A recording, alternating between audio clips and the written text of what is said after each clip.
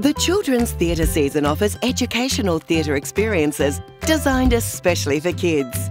In 2017, young audiences can look forward to five new and exciting shows, including performances of Patch Theatre's Emily Loves to Bounce, Griffin Theatre Company's adaptation of the Roald Dahl classic The Witches, Garry Ginivan's take on We're Going on a Bear Hunt, Monkey Baa Theatre's reimagining of Jackie French's popular Diary of a Wombat, and the extraordinary story of a boy and his dog Benjamin and Me, presented by Whiskey and Boots. To find out more or purchase tickets, visit ticketshop.com.au. For school bookings, contact the ticket shop directly by phoning 4727 9797.